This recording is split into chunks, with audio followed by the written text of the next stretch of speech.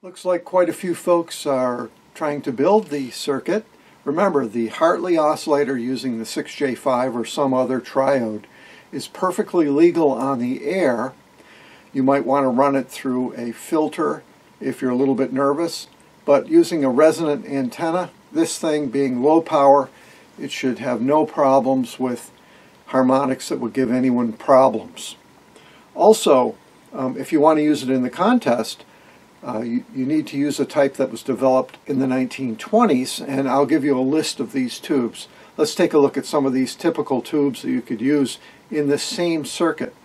The Hartley oscillator was very popular in the 20s, and uh, a man named Ross Hull, who was the ARRL's technical, really a technical director, his fir the first technical director of the ARRL, um, he recognized that not everyone had the funds to be able to produce a state-of-the-art type ham station.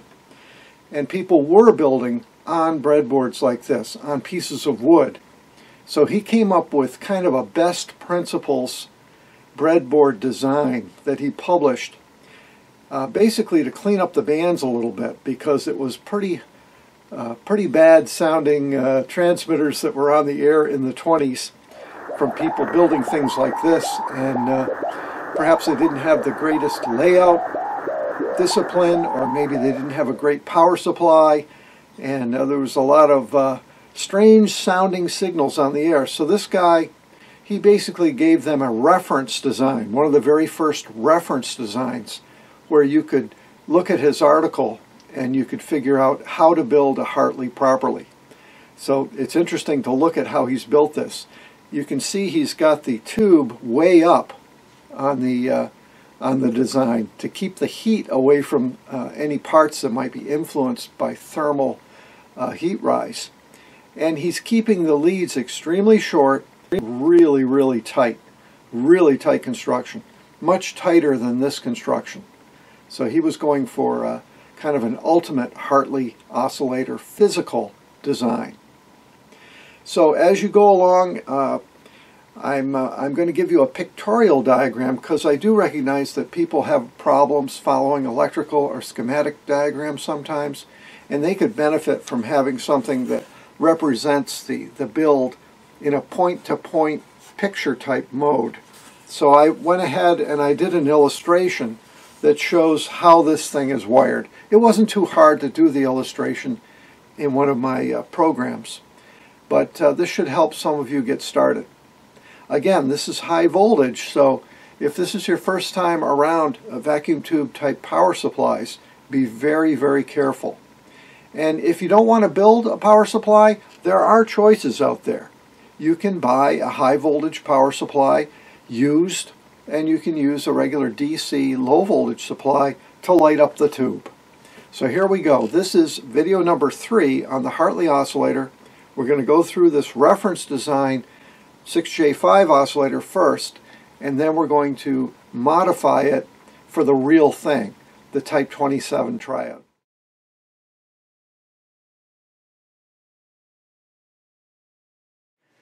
So the first thing you notice as you look down on the breadboard is this huge coil here. What's that all about? Well, that coil is the radio frequency choke. It's a solenoid wound radio frequency choke which takes the place of this very fine Miller choke.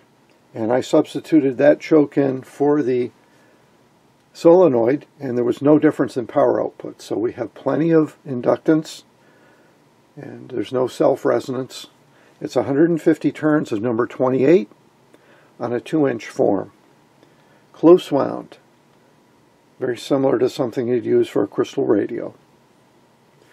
The coupling capacitor is a 0.01 capacitor.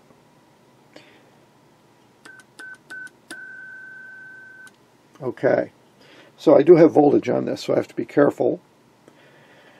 Now, the, the first and most important part of this transmitter is the grounding.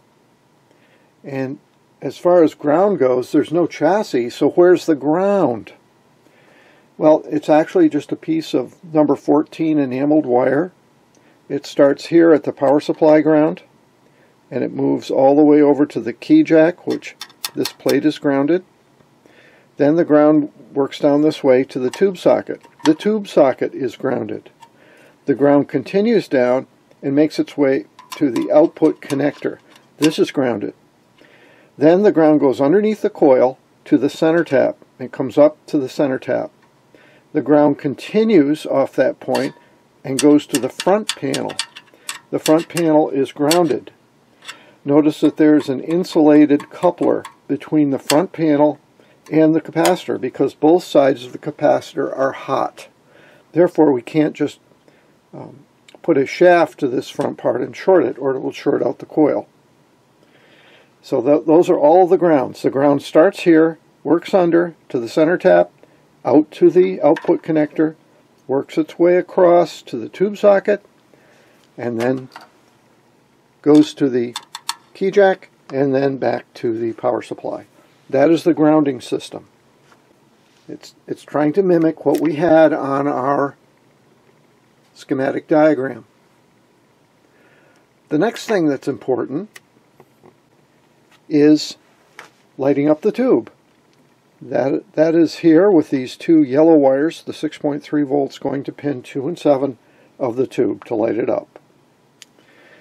Uh, next, the high voltage comes in on the red wire and it goes immediately over to the choke. From the choke, it comes out to the coupling capacitor and uh, at, at that same point, we have to go to the plate of the tube. So this point goes to the plate of the tube and we have a suppression network at that point. Okay, next uh, let's talk about the keying. The keying is here, and I've got this fabulous Black Beauty key shaping capacitor at this point. That goes over to the cathode of the tube. We have the grid left. The grid goes to the rotor, which is the frame of the capacitor. The rotor is the frame. To the grid with a 10K resistor and a 270 puff capacitor. So I think we've gone through just about all of the wires. There's not much to it.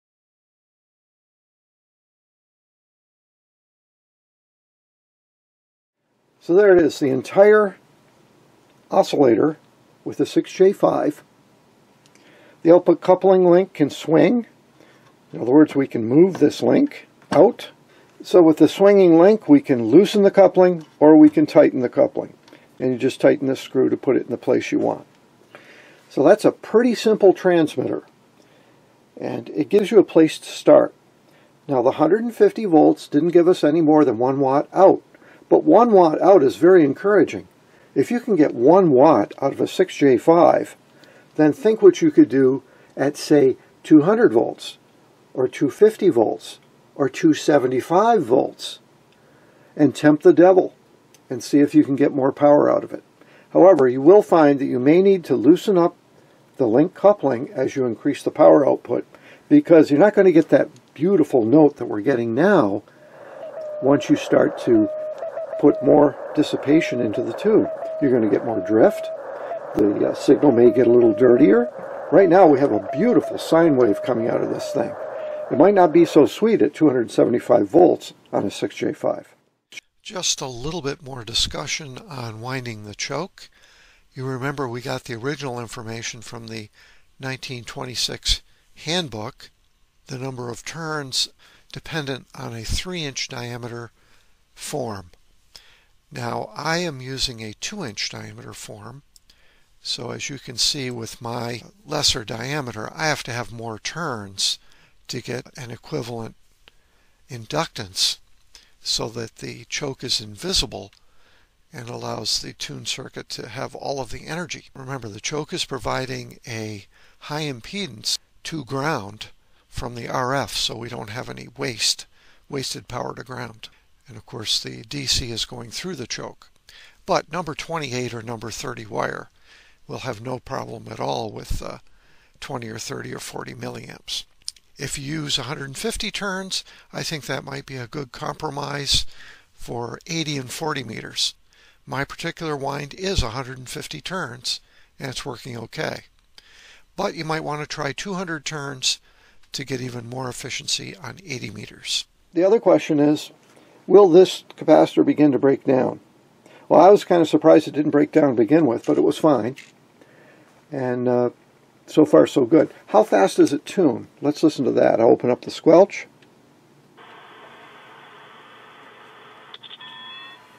Okay.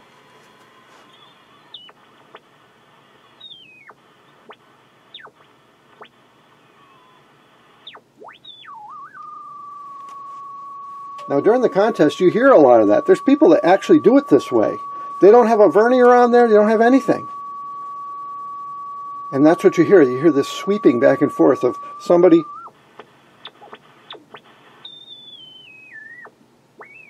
trying to net you with something like that. So I highly encourage putting a vernier on it or using a fixed capacitor to make the tuning at least a little bit slower.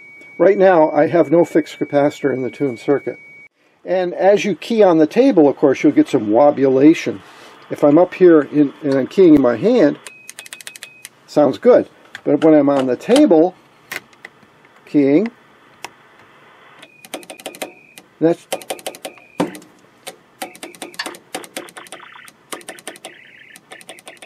you want to isolate all vibrations.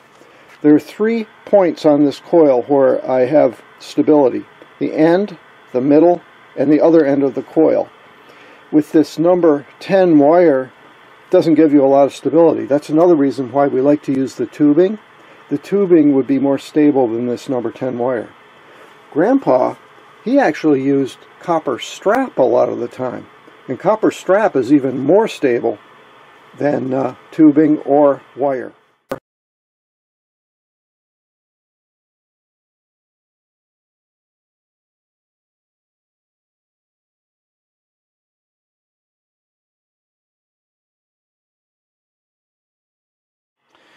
So it would be nice to know how much uh, current drain we have on this thing. Remember we predicted a 5K resistor and uh, the voltage dropped about 10 volts under load. It went from around 160 down to 150.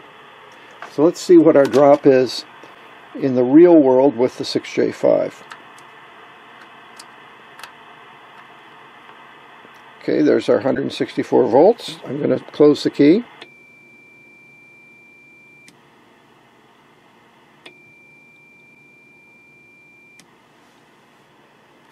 About 5 or 6 volts. So the, the current drain is not as much as we designed for, and that's why we have such a pleasant note.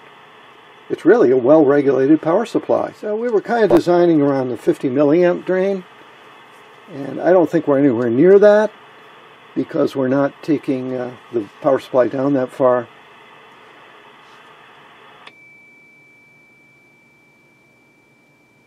Twenty milliamps.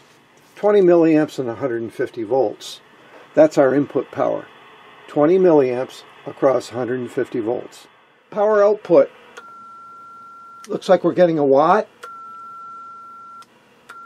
One watt out. I'm not going too crazy there. I did play with the 10K bias resistor and you can increase the power a little bit. But getting a watt out with 150 volts with a 6J5, we're going to call that good enough.